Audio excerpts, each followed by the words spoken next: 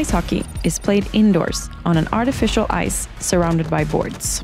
The game always starts with the referee dropping the puck onto the ice, a so called face off. Each game consists of three 20 minute periods, and the team that scores the most goals in the opponent's net wins the game.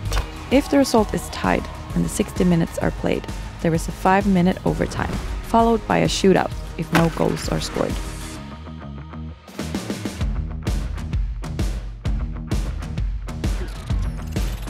The playing area, or rink as it is called in ice hockey, consists of three zones.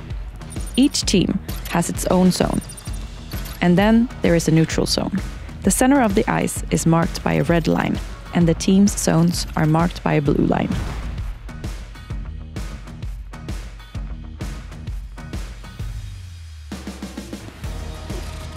Each team consists of 22 players, and there are six players on the ice at the same time five skaters and one goalie.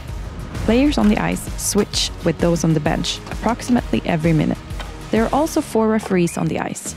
They make sure that the players follow the rules. You recognize the referees by their black and white striped jerseys.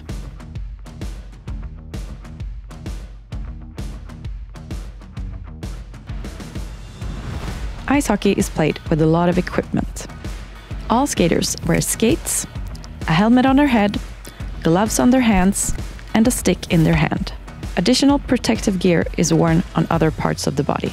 The ball of the sport is a puck, a flat, hard little object made of rubber.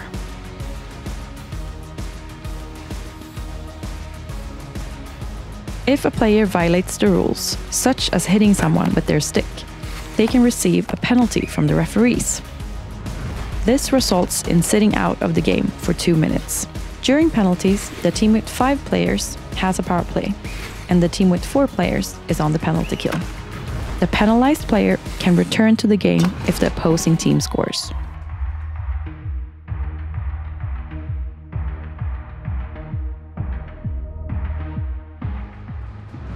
When the game is interrupted, the clock stops.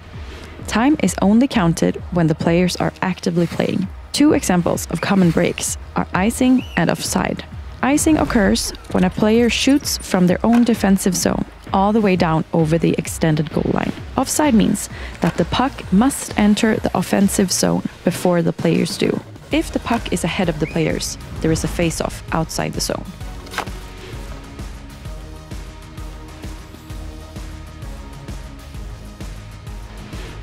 The crowd is crucial for the teams on the ice, especially for the home team. If the crowd cheers, sings, and support the team, it's more likely for them to win the game.